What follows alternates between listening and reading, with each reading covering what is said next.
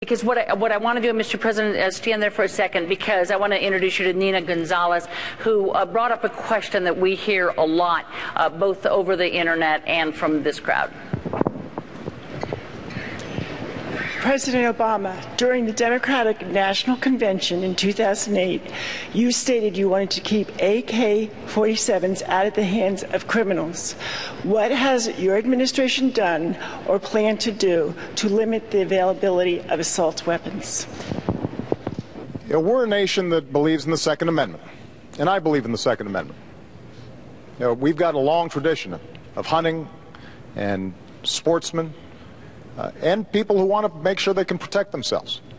Uh, but there have been too many instances during the course of my presidency where I've had to comfort families who've lost somebody, most recently out in Aurora. You know, just uh, a couple of uh, weeks ago, actually, probably about a month, uh, I saw a, a mother who I had met at the bedside of her son who had been shot in that theater and her son had been shot through the head. And we spent some time and we said a prayer. And remarkably, about two months later, this young man and his mom showed up, and he looked unbelievable. Good as new. But there were a lot of families who didn't have that good fortune, and whose sons or daughters or husbands didn't survive. So my belief is that A, we have to enforce the laws we've already got, make sure that we're keeping guns out of the hands of criminals, those who are mentally ill. We've done a much better job in terms of background checks, but we've got more to do when it comes to enforcement. But I also share your belief that weapons that were designed for soldiers in war theaters don't belong on our streets.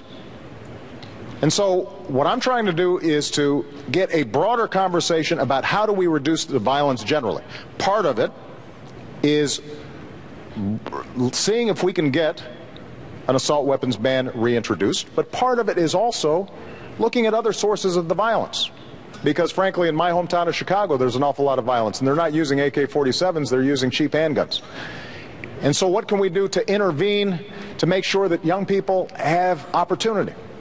That our schools are working, that if there's violence on the streets, that working with faith groups and law enforcement, we can catch it before it gets out of control. And so what I want is a, is a comprehensive strategy. Part of it is seeing if we can get automatic weapons that kill folks in amazing numbers out of the hands of criminals and the mentally ill.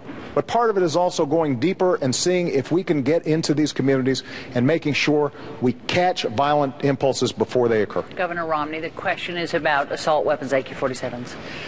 Yeah, I, am not in favor of new pieces of legislation on, on guns and, and taking guns away or, or making certain guns illegal. We, of course, don't want to have automatic weapons, and that's already illegal in this country to have automatic weapons. What, what I believe is we have to do, as the President mentioned uh, towards the end of his remarks there, which is to make enormous efforts to enforce the gun laws that we have and to change the culture of violence we have. And you ask, how are we going to do that? And there are a number of things. He mentioned good schools. I totally agree. We were able to drive our schools to be number one in the nation in my state. And I believe if we do a better job in education, we'll, we'll give people the, the hope and opportunity they deserve and perhaps less violence from that. But let me mention another thing, and that is parents. We need moms and dads helping raise kids wherever possible, the, the, benefit of having two parents in the home. And that's not always possible. A lot of great single moms, single dads.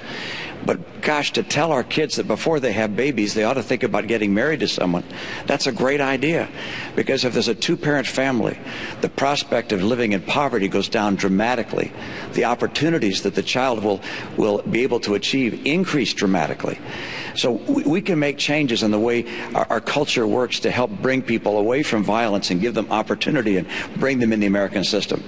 The, the, the greatest failure we've had with regards to, to gun violence in some respects is what, what is known as Fast and Furious which was a program uh, under this administration and how it worked exactly, I think we don't know precisely, but where thousands of automatic and, and AK-47 type weapons were, were given to people that ultimately gave them to, to drug lords They used those weapons against uh, against their own citizens and killed Americans with them.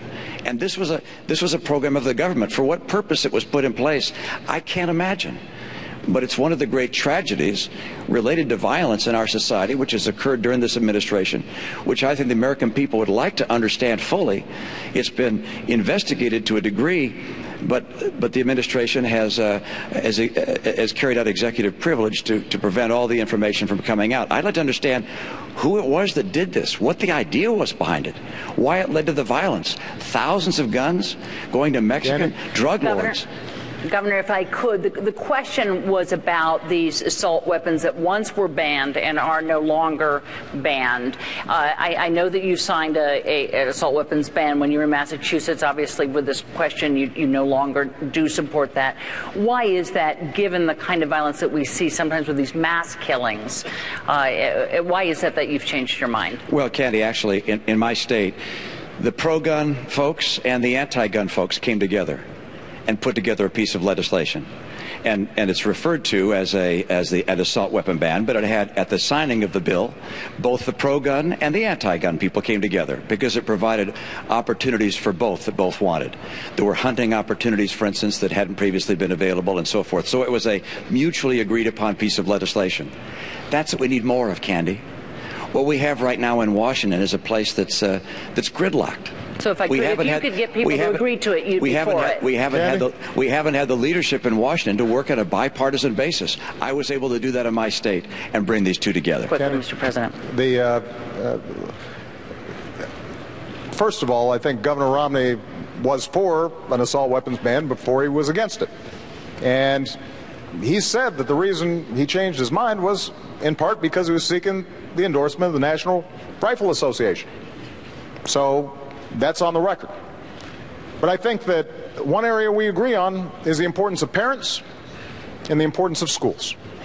Because I do believe that if our young people have opportunity, then they're less likely to engage in these kinds of violent acts. We're not going to eliminate everybody who is mentally disturbed, and we've got to make sure that they don't get weapons, but we can make a difference in terms of ensuring that every young person in America, regardless of where they come from, what they look like, have a chance to succeed.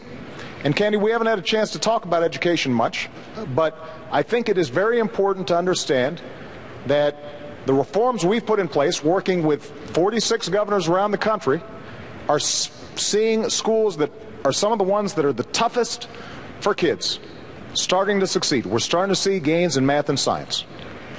When it comes to community colleges, we are setting up yeah, right. uh, programs including with Nassau Community College, to retrain workers, including young people who may have dropped out of school but now are getting another chance, training them for the jobs that exist right now. And in fact, employers are looking for skilled workers.